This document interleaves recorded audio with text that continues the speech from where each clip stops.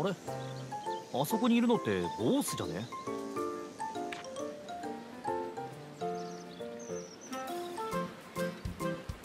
相変わらず勉強頑張ってるのかな。なんかまたちょっと無理してる感じしない？だと思うよ。ボースはこの3年間びっくりするくらい勉強ばっかりしてるから。お前が驚くほどなのか？一日でも早く立派になってブルネン家を継げる男になりたいんだってさ。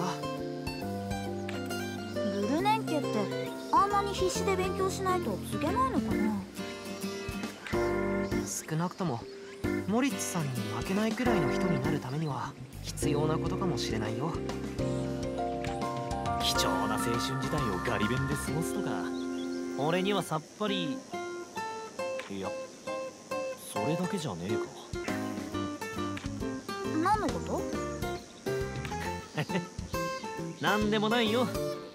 まあなんであれ頑張ってんのはいいことじゃねえの？でもさすがにちょっと心配だよ。そうだ。それじゃあボースを誘ってみんなで何かしない？空見島メンバーの同窓会も兼ねてならボースもきっと時間作ってくれるよ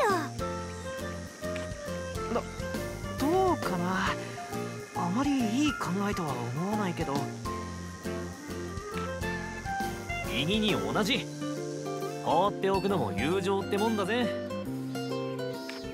何それ。意味わかんないんだけど。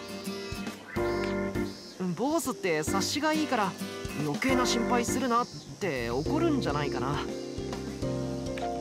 何よ二人とも。友達がいがないんだから。それなら私が一人で誘うからいいよ。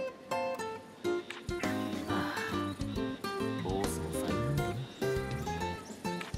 なああまあライザくらいしかいないからね。ボスにグイグイいける人って。